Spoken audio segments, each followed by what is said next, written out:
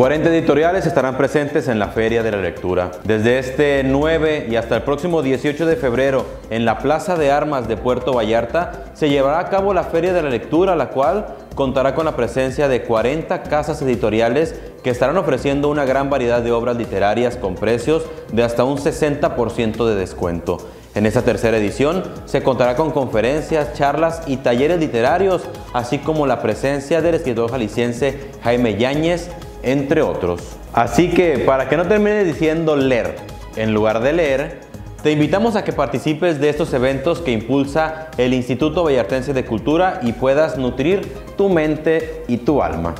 Amenazan a trabajadores de la UTBB luego de que iniciara la huelga al interior de la Universidad Tecnológica de Nayarit, entre ellas el campus de Bahía de Banderas y de la Costa. Académicos y administrativos de esta casa de estudios denunciaron a través de la Secretaría General de su sindicato supuestos actos intimidatorios por parte del personal de la Fiscalía General del Estado, quienes los han amenazado con denuncias penalmente en su contra por la comisión del delito de ocupación ilegal de edificios e inmuebles destinados a un servicio público. Los agremiados al sindicato, además de señalar a las autoridades estatales y de la propia institución educativa de estos actos intimidatorios, exigen mejores condiciones laborales, así como el respeto a su huelga, la cual fue emplazada en tiempo y forma.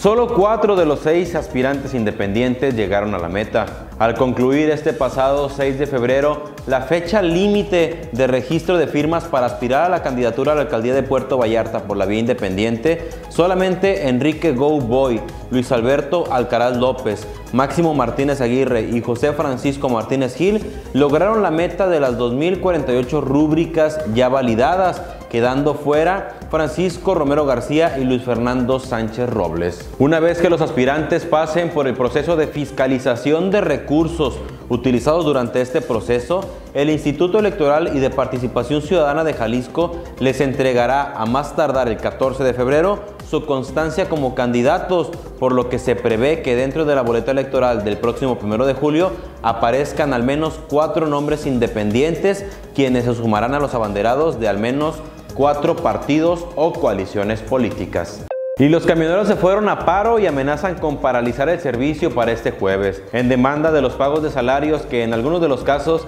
llegan a ser atrasados de hasta un mes este miércoles, alrededor de 40 choferes del sistema de transporte urbano de esta ciudad realizaron el paro de labores de al menos 15 unidades, afectando con ello a los miles de usuarios de las rutas Ixtapa, Centro, Banús, Bobadilla, Pitillal, Guadalupe Victoria, entre otras. Los trabajadores del volante aseguraron que de no llegar a un acuerdo con la empresa, realizarán un paro de labores con un mayor número de camiones para mañana jueves, así que le invitamos a mantenerse bien informado.